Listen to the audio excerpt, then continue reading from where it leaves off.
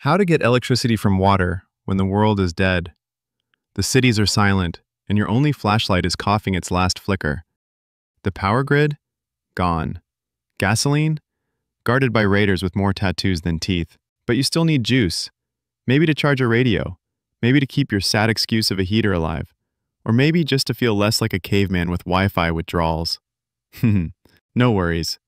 We're about to milk lightning out of water. Grab some scrap metal. Rust is optional, tetanus is not.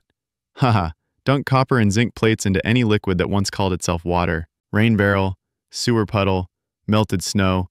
If it's wet, it works. Wire them up, and congratulations. You've built yourself a baby battery. A miserable, low voltage, don't even think about powering your fridge battery. But hey, enough to light an LED or charge a radio. Science? Simple. Water plus minerals equals ions on the move. Copper pulls, zinc pushes, electrons run for it like rats from fire. That's electricity, baby. if it tingles your tongue, it's working. If it kills you, it's working better. And that's how you make power from water after the end. No grid, no gas, just rust, desperation, and science.